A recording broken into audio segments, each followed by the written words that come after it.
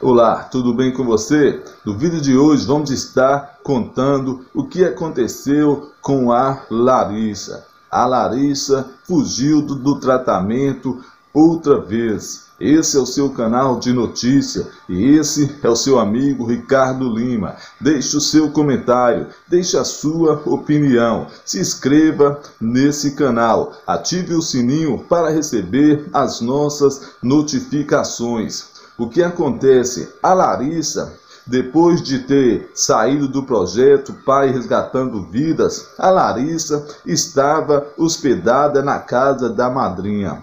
E, segundo as informações que temos, é que na noite de sexta-feira, às duas horas da manhã, já estava com o voo preparado para a Larissa embarcar para um tratamento em outro estado, fora de Manaus.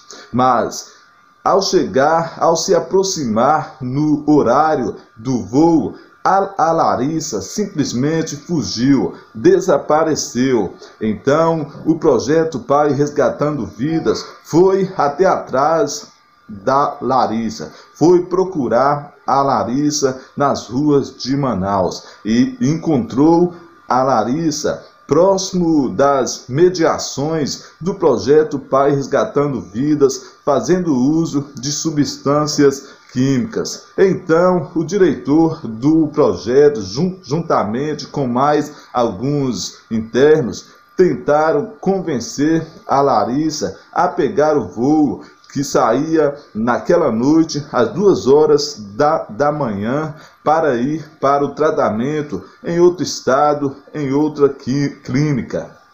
Mas a Larissa preferiu não ir e mais uma vez todos ali do projeto saíram decepcionados com a Larissa. É, na verdade, o que parece é que ela re realmente, definitivamente, não está querendo aceitar o tratamento. E você, o que você acha disso? Deixe a sua opinião, deixe o seu comentário. Até mais, bye bye, fique na paz, fique com Cristo.